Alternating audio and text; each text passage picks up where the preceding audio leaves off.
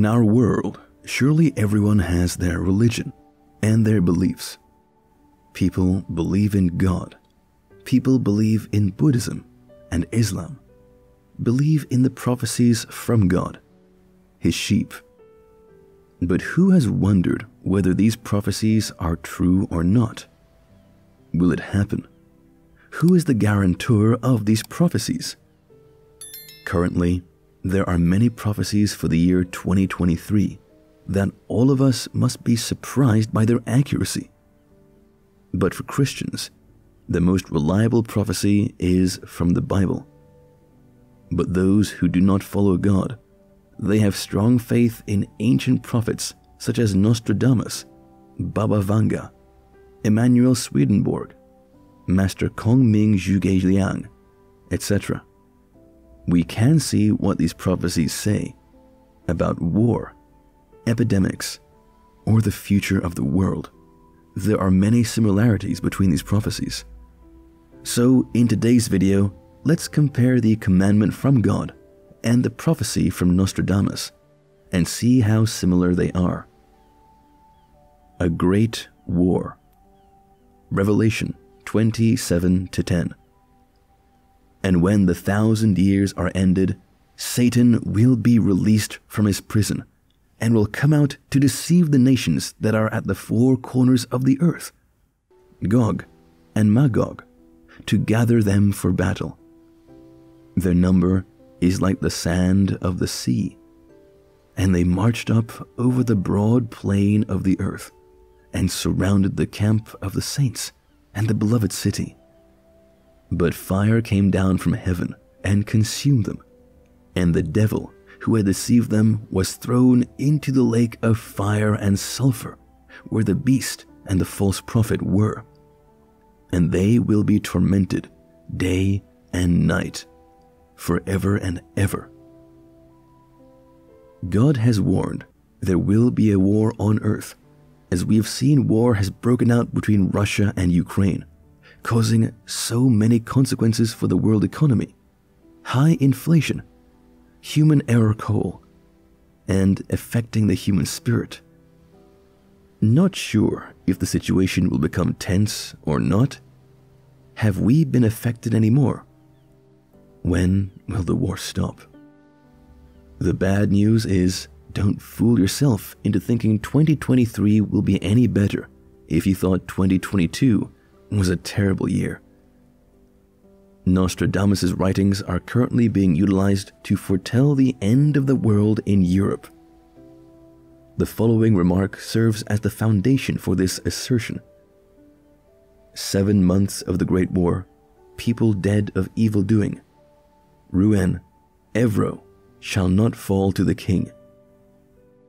Some people have interpreted this to suggest that a third global war is about to break out in the Ukraine crisis the seven month timescale for the conflict may at first seem like cause for celebration.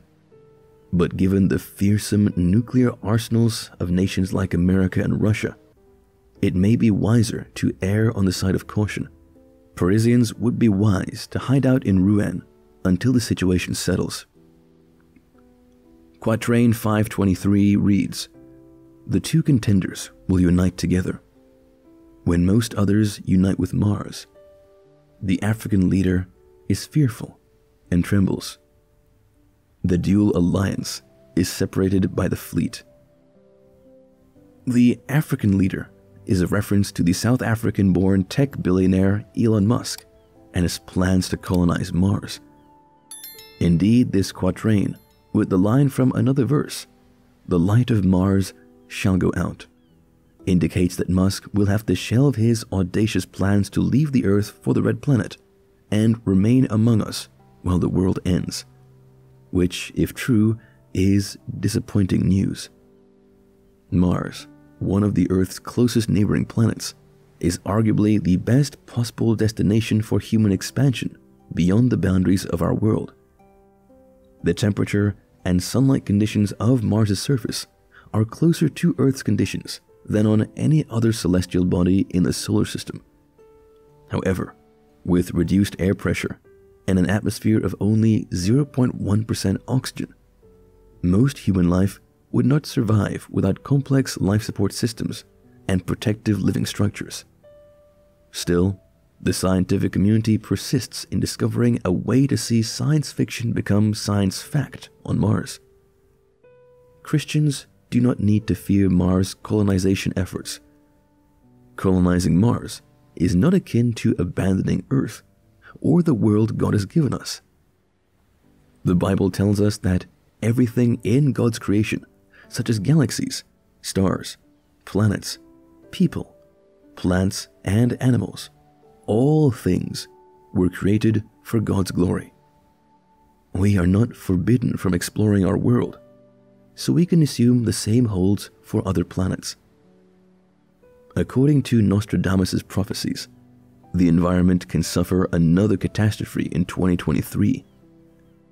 When the rainbow appears, the astrologer predicts that the dry ground will get even more parched and there will be enormous floods. This forecast for the coming year doesn't seem all that far fetched given the worsening effects of climate change. England experienced one of its hottest summers on record in 2022. The Met Office said that the nation received only 56%, 46.3 millimeters of its typical July rainfall. This past July in Scotland was the driest since 1836 due to a lack of precipitation, a consequence of global warming that may last until 2023. This is also mentioned in Genesis 8:22. While the earth remains, seed time and harvest, cold and heat, summer and winter, day and night shall not cease. Indeed, the weather will no longer be pleasant if people continue to carry out projects that are devastating to the environment. Industrialization and modernization continue to develop. We can't help but pay attention to Mother Nature. Then, one day, people will get angry, and there will be unforeseen disasters to come upon us. In one of Nostradamus' other prophecies, he writes Sooner or later, you will see great changes made dreadful horrors, and vengeance. This prediction hints that more social upheaval and civil unrest could take place in the upcoming months. The prophet goes on to write about trumpets shaking with great discord and a broken agreement, hinting yet again at some form of revolt or revolution somewhere on earth next year. This year, Iran saw weeks of riots following the murder of Mahsa Amini, for not wearing her hijab correctly. And it wouldn't be a surprise if more riots were to take place in 2023. But if we read Acts 1940, for we are in danger of being charged with rioting today, since there is no cause that we can give to justify this commotion. God, unlike us, never exacts revenge for immoral reasons he seeks to exact revenge on those who have wronged and rejected him. However, we can pray for God to complete and wholly revenge himself against his adversaries, and to vindicate those who are tormented by wickedness.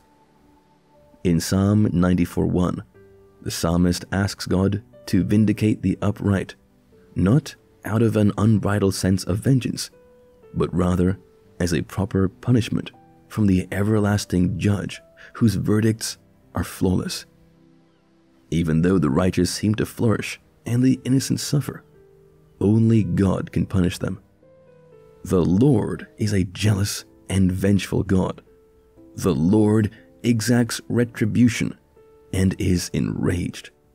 The Lord exacts revenge on his adversaries and doesn't relent in his fury.